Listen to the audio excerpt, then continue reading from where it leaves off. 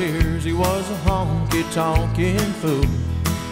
Ever since they brought that jukebox here back in 1952, he was the first to drop a nickel in when he danced with his first wife.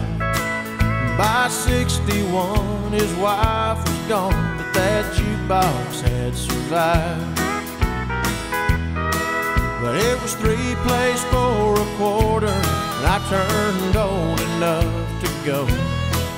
Red showed me that old whirling sir and said, son, I want you to know if you ever come up two bit short, just kick it on the side. And would you do this honky tonkin' fool one favor when I die? He said, roll away my tombstone and put this jukebox in its place. And then make damn sure your cheating heart is the only song that plays. I don't need no stone with fancy words, but this jukebox would be cool.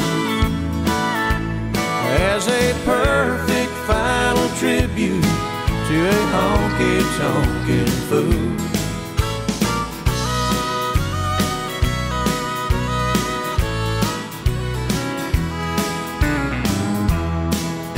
When we heard the news, me and Mr. Hughes put the jukebox in my truck.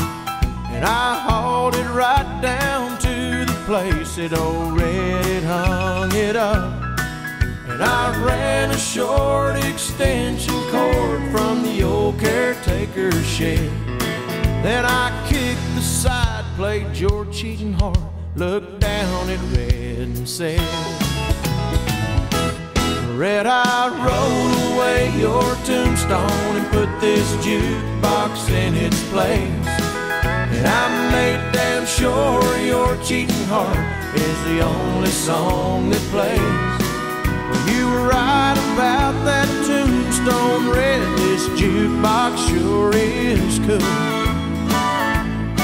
As a perfect final tribute to a honky tonkin' fool. It's the perfect final tribute to a honky tonkin' fool.